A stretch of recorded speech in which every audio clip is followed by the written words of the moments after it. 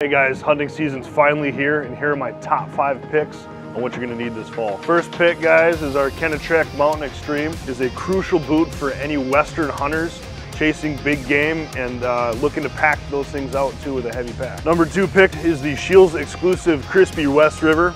It's got a uh, 400 gram boot, great for chasing pheasants in the late season or the early season and a nice lightweight build. This is my number three pick, guys, the Zamberlan Lynx boot. Never have to worry about breaking a lace in the field again. Just boa lacing, crank it on, you're ready to spot and stalk.